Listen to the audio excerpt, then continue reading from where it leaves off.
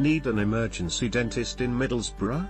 If you are in pain or have sustained a dental injury, particularly on a Saturday, we can provide you with an emergency dental appointment usually within 24 hours.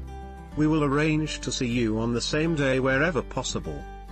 If your tooth is loosened or knocked out, your dentist will check to see if the tooth can be refixed or reimplanted. An X-ray may be taken to check the severity of your injury and determine whether there are any pieces of broken tooth left in your gum. For a chipped tooth, the severity and location of the chip will determine what treatment your dentist recommends. Treatment could range from building the tooth up with a filling, to more extensive treatment such as root canal, a crown or both. It is essential to see a dentist as soon as possible if you are in pain from toothache, or if you suffer a dental injury.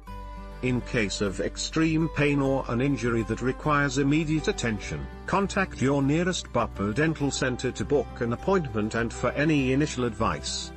If your condition requires treatment, your dentist will discuss your options with you.